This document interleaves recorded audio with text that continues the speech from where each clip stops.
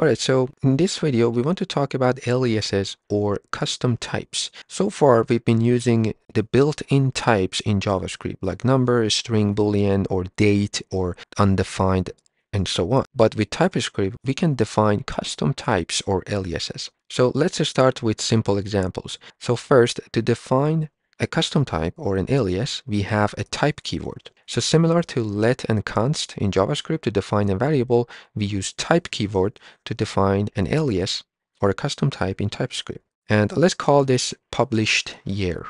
And I want to set the type of this to number. You notice here, we are not setting the type using a colon, but we are using the assignment operator we are saying this type that we are calling it publish year is number. So now we have a custom type and we can use it anywhere. So let's say I have a variable and I'm going to call it x and the type of this x should be a published year, which technically is a number. And if you hover over x, we can see it is set to number. So I can't have a string here.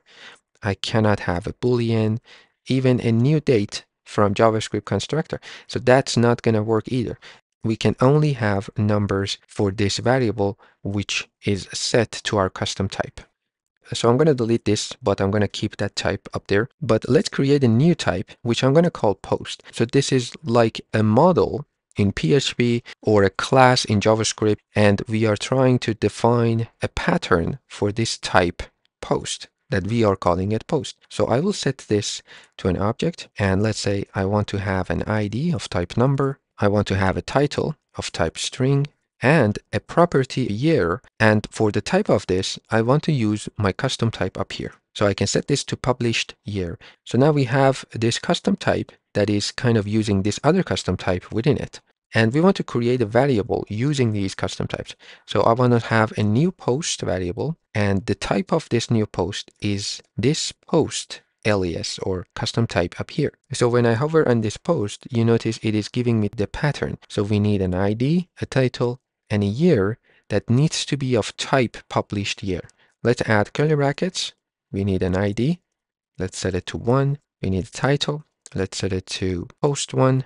And a year property, let's just say 2020. We could also change this around a bit to make it more useful. For example, this published year must be a date. So I can just pass date here as a type. And now you notice this year is giving me an error because it's not looking for a number, but a date. So I can pass a new date constructor here and this is not giving me an error. So I think this would be a better example.